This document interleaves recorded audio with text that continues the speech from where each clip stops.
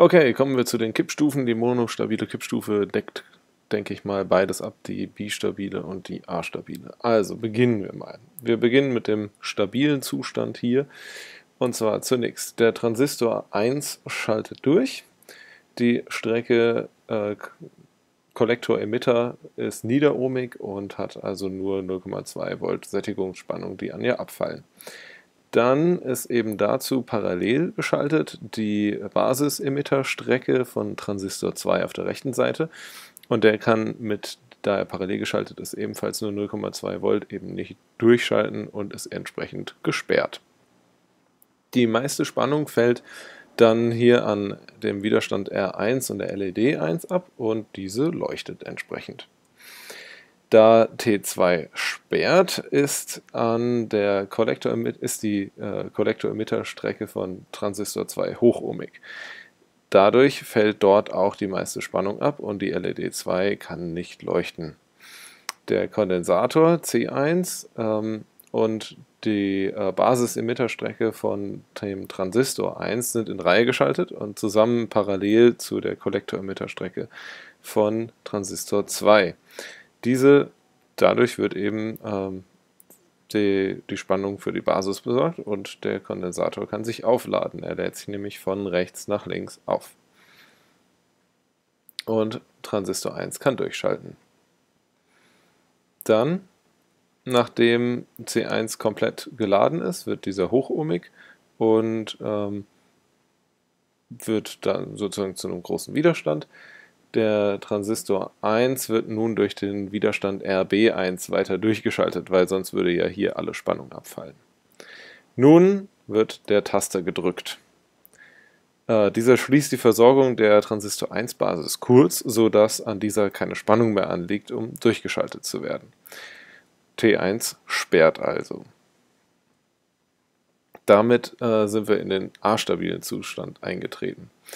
Da T1 sperrt und die äh, Kollektor-Emitter äh, Kollektor-Emitter-Strecke von T1 hochohmig wird, fällt an ihm die meiste Spannung ab und die LED 1 hat nicht mehr genügend Spannung, um zu leuchten.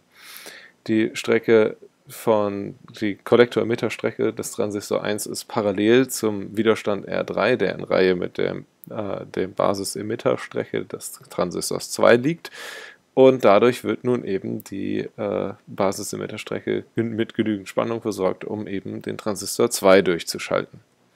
Da Transistor 2 nun durchschaltet, wird die Kollektor-Emitter-Strecke von Transistor 2 niederohmig und die meiste Spannung fällt eben an R2, Widerstand R2 und der LED 2 ab und diese leuchtet.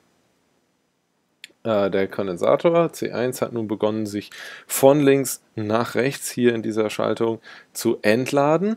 So liegt links ein negatives Potential an. Das ist jetzt mal hier so gekennzeichnet.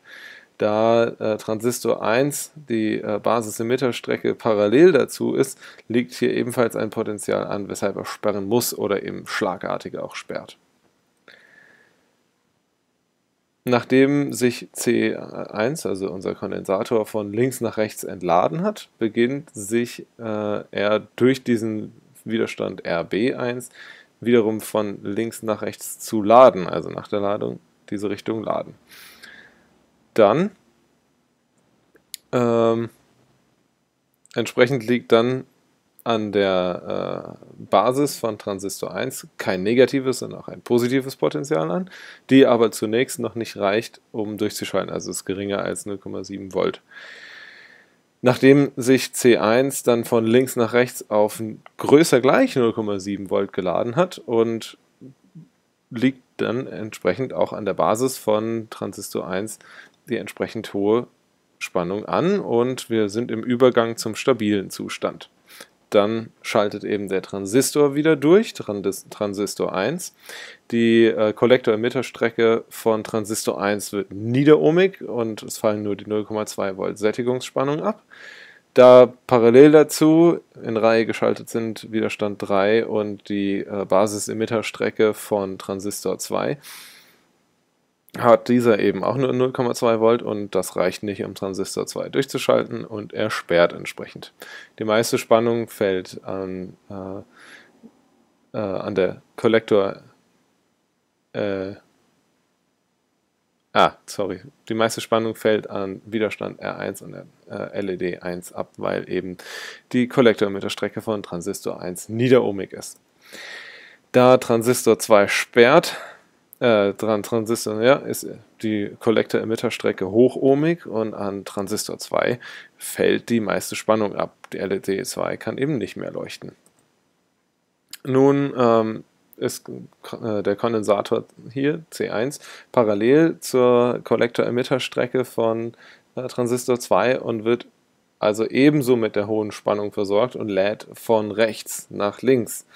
Weiterhin ist anschließend auch die, äh, äh der Transistor 1 BE parallel, also die Basis-Emitter-Strecke parallel und wird mit genügend Spannung zum Durchschalten versorgt. Und wir sind wieder im stabilen Zustand, sobald sich der Kondensator geladen hat ähm, wird die Basis wieder über den Widerstand B1 geladen.